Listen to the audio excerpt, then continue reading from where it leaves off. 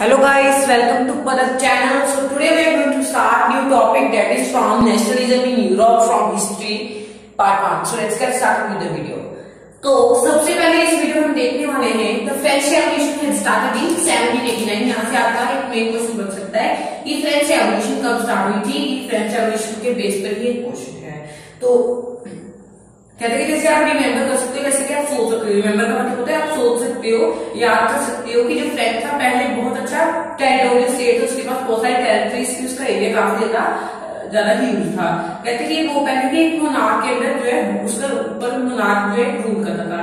कहते कि बाद में क्या हुआ, उसके ऊपर पॉलिटिकल पॉलिटिकल का मतलब होता है राजनीतिक राजनीतिक, ठीक है? पॉलिटिकल का मतलब क्या होता है? राजनीतिक। और कॉन्स्टिट्यूशन का, यानी कॉन्स्टिट्यूशन में जो चेंजेस आते कहते हैं उसमें काफ़ी सारे चेंजेस आए, क्या हुआ?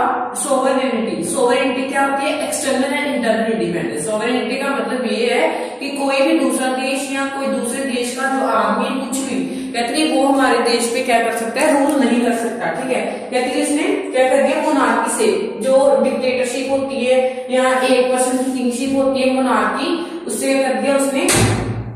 सोवरेनिटी में चेंज कर दिया मीन्स टू से इसने एक्सटर्नल एंड इंटरनल इंडिपेंडेंस करवा दी कि हमारे देश में कोई भी दूसरा देश है, वो रूल नहीं कर सकता है। ठीक है इसका यहाँ पे मेन रोल था। फिर बाद में ये है उनमें सेकंड पॉइंट जो मैंने लिखा हुआ है कलेक्टिव आइडेंटिटी कौन सा पॉइंट लिखा है? कलेक्टिव आइडेंटिटी नेपोलियन ने यहाँ कुछ दूसरे, कुछ मेयर्स इंट्रोड्यूस किए। कुछ ऐसे रिफॉर्म इंट्रोड्यूस किए ठीक है रिफॉर्म का मेनली मतलब होता है मेयर्स ठीक है, कहते कि उसने ऐसे मेयर इंट्रोड्यूस करी या प्रैक्टिस इंट्रोड्यूस करी, जो कि करी, जो कि काफ़ी ज़्यादा बेनिफिशियल थी। कहते कि आइडिया ऑफ़ लो पैट्री लो पैट्री एक ना फ्रेंच वर्ड है, ठीक है, जिसका मतलब है फादरलैंड और लो सिक्योर द सिटीजनशिप कहते हैं कि जो लो पैट्री जो फादर था फादरलैंड थी, और सिटीजनशिप थी, उनको एक अलग से अलग से ही अपनी इक्वालिटी वाले रूल जो है दे देंगे। फिर सेकंड पॉइंट ये कि new tricolour flag was introduced and replace by the replace by the formal royal standard कहते कि जो मोनार्की ने अपना फ्लैग इंट्रोड्यूस किया था ना रोयल स्टैंडर्ड वाला फ्लैग कहते कि उसको हटा दिया गया उसको रिमूव कर दिया गया और एक न्यू फ्लैग जो है स्टैब्लिश किया गया वो जो, जो कौन सा था फ्रेंच फ्लैग था जो कि क्या था ट्राइबल था जिसमें तीन रंगा यानी तिरंगा बोल सकते हो उसको। कि फिर कहते कि एस्टेट जनरल एस्टेट जनरल कहते कि ये जो इलेक्ट किए गए जो एक्टिव एक्टिव सिटीजन यानी जो कि जो इलेक्शन है उसमें एक्टिवली होकर पार्ट करते हैं। जैसे कि हाँ मैं अभी हम एक्टिवली इतना पार्ट करते जैसे कि हम ऊपर चले जाए पूरी जाँच करके फिर वोट डाले तो हम बोल सकते हैं कि हम जो है एक्टिव सिटीजन है। कहते एक्टिव सिटीजन के द्वारा क्या किया गया? स्टेट जनरल को इलेक्ट किया गया और कहते जो स्टेट जनरल बनाई थी ना पहले, उसको फिर क्या किया जाए और उसका नाम चेंज कर दिया गया नेशनल असेंबली रख दिया गया। स्टेट जनरल और नेशनल असेंबली दोनों एक ही चीज़ है, बस उसका नाम जो है चेंज कर देगा बाद में। ठीक है? फिर फोर्थ पॉइंट आपके बीच में कि जो हाइम्स का मतलब होता है एंथम्स कि न्यू जो एंथम से वो वो बोले जाने शुरू, बोलना शुरू कर दिया लोगों ने। कहते हैं कि फिर उन्होंने ओट्स का मतलब होता है ओट्स का मतलब होता है कि हम जैसे विश ऐसे करते हैं ना, कि हम सॉन्ग कहते हैं इसको मेनली ठीक है, उसको कहते कि जो उन्होंने ऐसे करना शुरू कर दिया, ठीक है सोच चुकनी शुरू कर दी, और कहते कि मार्केस मार्केस यानी शहीद कहते कि जो शहीद थे उनको पूरे नाम नेशन के नाम पे क्या किया गया उनका नाम लिया गया। जैसे कि एक, मान लो कि एक बिहार से कोई शहीद हुआ है, जैसे ठीक है, बिहार से कोई शहीद हुआ है तो बोलेंगे बिहार से चंपारण से मानो शहीद हुआ है लोग बोलेंगे चंपारण से शहीद हुए चंपारण से बट ऐसा पे नहीं था। उनको उनको क्या बोलना था कि बिहार से शहीद हुआ है, इंडिया से इंडिया से एक जवान शहीद हुआ। मीन्स टू से उन्होंने पूरे नेशन का नाम लेना था, एक पर्टिकुलर जगह का नाम नहीं लेना था, पूरे फ्रेंच को क्या करना था फ़ेमस करना था। अगर कोई शहीद हुआ तो क्या उन्होंने क्या किया न्यू न्यू एंथम्स भी कंपोज करने शुरू कर दिए, मैंने आपको बता दिया। फिर क्या हुआ? Uniform law of all citizen within the territory and internal custom duty and was abolish कहते हैं जैसे यूनिफॉर्म सिस्टम ऑफ़ एंड वही इंट्रोड्यूस किया गया। यानी जैसे कि हमारी मान लो कि हर, मान लो जैसे कि पंजाब में वीट का वीट के एक के जी का प्राइस है वन हंड्रेड ठीक है, पंजाब में वीट के एक के जी का प्राइस है वन हंड्रेड और बिहार में भी वन हंड्रेड ही होना चाहिए और यूपी में भी कहीं भी, तमिलनाडु, केरला में सभी के में वीट या राइस का प्राइस जो है हंड्रेड ही होना चाहिए. ये नहीं है कि बिहार में वीट का प्राइस टू हंड्रेड हो वन के जी का यूपी में थ्री हंड्रेड हो जाए ऐसे. कम ज़्यादा नहीं होना चाहिए हर एक पूरे जितना भी नेशन है, उसमें जो जैसे कि एक चीज़, जैसे कपड़े का रेट सब, हर एक चीज़ का रेट जो है सेम ही सेम होना चाहिए, ठीक है? और कहते कि उन्होंने जो टैक्सिस ने ना उनको अबोलिश करवा दिया। कहते कि regional dialects were discourage and French as it was spoken and written in Paris became common language of the nation कहते कि जैसे रीजनल डायलेक्ट जैसे कि हम बोलते सिखिज्म, बुद्धिज्म, जैनिज्म, ऐसे अलग अलग लैंग्वेज बोलते हैं, जैसे हिंदू मोस्टली क्या बोलते हैं? हिंदी बोलते हैं और दूसरे क्रिश्चियन उन, उनकी भी कुछ अलग ही लैंग्वेज होती है जैसे पादरी ठीक है ऐसे बाइशप जो प्रीस्ट होते हैं वो अलग कुछ लैंग्वेज बोलते हैं। और जैसे सिख होते हैं वो मेनली क्या बोलते हैं पंजाबी बोलते हैं ठीक है? ऐसे क्या होता है? कहते हैं कि वो हर एक धर्म का जो ना अलग अलग जो है अपनी लैंग्वेज बोलता था। बट कहते हैं कि जैसे कि पेरिस था उसमें क्या लिखा था? फ्रेंच को बोला भी जाता था और लिखा भी जाता था। पेरिस एक ऐसी जगह थी तब कि जब उसमें फ्रेंच से लिखा जाता था और फ्रेंच ही बोली जाती थी। बट कहते कि बाद में क्या कर दिया गया पूरे फ्रांस में फ्रेंच बोलनी है और फ्रेंच लिखनी है। ठीक है, ये रूल निकाल दिया गया। बाकी सारी जो लैंग्वेज थी, उनको अबोलिश कर दिया गया, उनका खात्मा कर दिया गया। जैसे कि, ठीक है और में कर दिया गया। फ्रेंच को बोला गया कि ये फ्रेंच ही हमारी नेशनल लैंग्वेज है। इसमें हमने लिखना है, पढ़ना जो भी करना है हमें फ्रेंच बोल कर ही करना है, या फ्रेंच लिख कर ही करना है फ्रेंच ही सुनना है। ठीक है, सब कुछ फ्रेंच में ही होना चाहिए। फ्रेंच एक मेरी लैंग्वेज फिर बाद में कहते हैं कि जो रेवोल्यूशनर्स थी, उन्होंने ये डिक्लेयर किया रेवोल्यूशन ये प्रोक्लेम किया डिक्लेयर किया, लोगों को बताया कि जो ये ये मिशन है, ये हमारा अपनी किस्मत डेस्टिनी यानी किस्मत है। ठीक है, हमने जो अपने यूरोप के लोग हैं, उनको क्या डेस्पोटिज्म डेस्पोटिज्म वो होता है डिक्टेटरशिप या क्रूर वे से, यानी धक्केशाही से किसी पर रूल करना, उसको हम कहते हैं डेस्पोटिज्म कहते हैं कि हमने अपने पूरे यूरोप के लोगों को डेस्पोटिज्म यानी जो हमारे लोग, जो मनार्की है, वो हमारे रूल करते हैं हमें उससे बचाना है, पूरे यूरोप को करना है इंडिपेंडेंट इंडिपेंडेंट करना है इंडिपेंडेंस लोगों को देनी है फ्रीडम देना है लोगों को मेनली ठीक है? फिर कहते हैं कि बाद में the news of the event in France reach the different city of the Europe the member of educated middle class began कहते हैं कि जो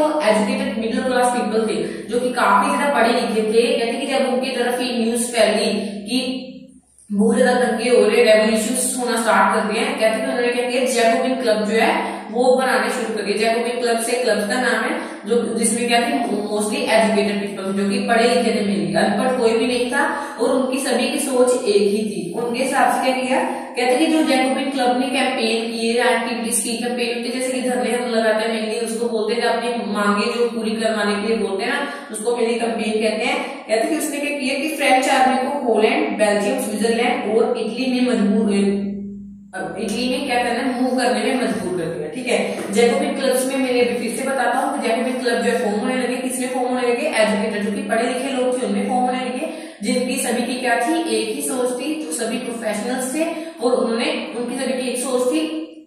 और ये भी बात थी, कोई भी अनपढ़ नहीं था, और उनकी जो एक्टिविटीज़ की कंपेन थी, उन्होंने जो फ्रेंच आर्मी है, उनको होलैंड स्विट्जरलैंड बेल्जियम और इटली में 1790 में मूव करने में मजबूर कर दिया। यही था हमारा जो क्लब का मेन है। आगे पढ़ते नेपोलियन ने क्या किया? स्वेत होता है स्वेत होता है एरिया जो आपका सेकंड पेज दिया सिक्स पेज नंबर पे। Within the wide swathe of the territory that came under his control Napoleon set up introducing of many of reform कहते कि जो नेपोलियन था रिफॉर्म का मेनली मतलब होता है रिफॉर्म इसका मेनली मतलब होता है चेंज कहते कि जैसे जैसे स्वेत का मतलब होता है एरिया कहते कहते जैसे जैसे फ्रांस का एरिया बढ़ता गया नेपोलियन ने नए नए जो क्या किए? रिफॉर्म यानी चेंजेस लाने शुरू कर दिए फ्रांस में। कहते कि फिर क्या हुआ? ध्रुआ return of to monarchy Napoleon had no कहते कि नेपोलियन ने चाहे ही पहले जो डेमोक्रेसी थी, उसको डिस्ट्रॉय किया। कहते कि बाद में उसने क्या किया कि पूरे फ्रांस को इतना अच्छा बना दिया जिससे कोई कर नहीं सकता था। कहते कि नाम ये कोई, ये डाउट करने के बाद उन्होंने बोला नो डाउट कि नेपोलियन ने क्या किया डेमोक्रेसी को क्या किया डिस्ट्रॉय कर दिया। जैसे कि बाद में उसने रैशनल बना दिया एडमिनिस्ट्रेटिव बना दिया, यानी उसको काफ़ी ज़्यादा अच्छा काफ़ी हद तक अच्छा बना दिया जितना कोई कर नहीं सकता था। फिर हम देखते हैं कि civil code of 1804 civil code of 1804 का दूसरा नाम क्या है? नेपोलियनिक कोड ऑफ़ 1804 उसके हिसाब से क्या कर दिया गया कि जैसे हमने नाइन्थ क्लास में आपको शायद याद ना ही हो, अगर हो भी तो अच्छी बात है। जैसे कि हमने नाइन्थ क्लास में पढ़ा था फ़र्स्ट स्टेट सेकंड स्टेट और थर्ड स्टेट में जो लोगों को उनको डिवाइड कर दिया गया था उसके हिसाब से क्या किया था कि जो सबसे फ़र्स्ट स्टेट वाले पीपल थे, उनको काफ़ी ज़्यादा क्या थी प्रिविलेज थी, यानी उसको काफ़ी ज़्यादा सहूलतें थी, काफ़ी ज़्यादा वो अमीरी से क्या करते थे, अपनी लाइफ स्पेंड करते थे। बट जो थर्ड स्टेट वाले पीपल थे, उनको काफ़ी ज़्यादा गरीब थे, उनको इतनी ज़्यादा प्रिविलेजेस नहीं थी। बट नेपोलियन ने आकर के किया? नेपोलियन इतना मतलब इतना अच्छा काम किया उसने जो सारी स्पेशल सहूलतें थी जो स्पेशल लोगों को वो मिलती थी प्रिविलेजेस मिलती थी वो सभी हटा दी और उसने क्या किया कि सभी को एक ही चीज़ मिलेगी जैसे कि एक को सरकारी हॉस्पिटल में जा रहे हैं सरकारी हॉस्पिटल में सभी जाएँगे। ऐसे ठीक है सभी उसने ऐसा कर दिया कि किसी में भी भेदभाव करना सभी में छोड़ दिया। तो सेकंड पॉइंट उसने क्या किया कि उसने उस, उसने फ्यूडल सिस्टम को क्या किया उसने फ्यूडल सिस्टम को अबोलिश कर दिया फ्यूडल सिस्टम होता है, जागीरदारी सिस्टम जागीरदारी ऐसे हम लोगों को, किराए पर क्या कहते हैं, ज़मीन देते उसको जागीरदारी सिस्टम कहते हैं। कहते उसने उसको बिल्कुल जगह अबोलिश कर दिया। कहते हैं उसने पीजन जो था, उसको जैसे सर्वम होते काम करने वाले या काम करवाने वाले उससे क्या किया? उन्होंने अबोलिश करवा दिया। उन्होंने कहा कि वोटिंग लेबर बेकार नहीं हो चाहिए उन्होंने ये सभी अबोलिश कर दिया। कहते कि जो बिल शिक्षण थी जैसे कि टैक्सेस लगते थे, लोगों को जाने में इधर परेशानी होती थी, जैसे टैक्स लग जाते थे मतलब इंटरेस्ट लगते थे, ठीक है? वो कहते कि वो भी सभी क्या रिमूव कर दिए कहते कि ट्रांसपोर्ट सिस्टम था और कम्युनिकेशन सिस्टम था ना, उनको नेपोलियन ने काफ़ी हद तक इम्प्रूव कर दिया। किसको किसको किया? ट्रांसपोर्ट सिस्टम को और कम्युनिकेशन सिस्टम को। और कैसे नेक्स्ट पॉइंट क्या है? Peasant artisans and workers and new businessman enjoy new found freedom कहते कि नेपोलियन ने नेपोलियन जो नए चेंजेस लाया उसमें क्या किया कि पीसेज को आर्टिसन को वर्कर्स को कहते कि न्यू न्यू बिजनेसमैन को काफ़ी ज़्यादा मुनाफा हुआ उनको नई आज़ादी देखने का मौका मिला जब नई आज़ादी मिल गई। कहते कि जो बिजनेसमैन थे स्मॉल स्केल प्रोड्यूसर थे कहते कि उन, उनको क्या चाहिए था? उनको चाहिए था जैसे मैंने पहले भी बताया बिहार में जैसे कि वीट का या राइस का जो प्राइस है वो हंड्रेड है।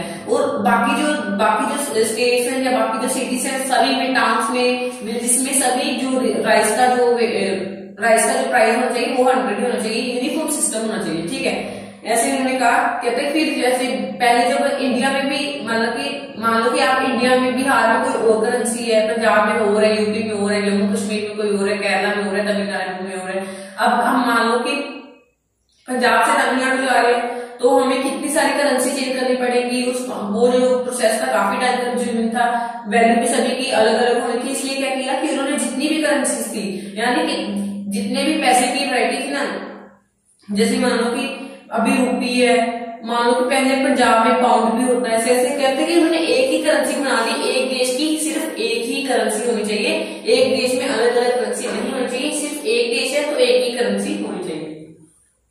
फिर जो मैंने लास्ट में लिखा हॉस्टिलिटी हॉस्टिलिटी यानी काफ़ी ज़्यादा बुरा बर्ताव करना कहते हैं कि जो एंथुथियाज्म एंथुथियाज्म मतलब प्यार वाला जो, प्यार वाला जो होता है ना, प्यार वाली फीलिंग होती है। कि जो प्यार वाली फीलिंग थी, वो नफरत में कैसे बदलगी, वो फ्यूल वे में कैसे बदल गई वो बहुत गंदे तरीके, गंदे बर्ताव करने वाले नेपोलियन में कैसे बदलगी, ये देखते हैं अभी। कहते हैं कि जो पहले पहले इनिशियली इनिशियली इनिशियली का मतलब है पहले पहले कहते कि जैसे होलैंड है स्विट्जरलैंड जैसी जैसी जगह है, जिनमें सिटीज़ है, ब्रसल्स मेन्स मिलान वासा या में जा रहे इसमें प्रेजेंट है होलैंड और स्विट्जरलैंड की सिटीज़ है, ब्रसल्स मेन्स मिलान और बोसा कहते कि उनको फ्रेंच आर्मी ना फ्रेंच आर्मी को हार्बिंगर्स की ऑफ़ लिबर्टी की तरह कि हमें ये लिबर्टी दिलवाएँगे फ्रीडम दिलवाएँगे। कहते कि ऐसी ऐसी तरह क्या किया उनका स्वागत किया गया।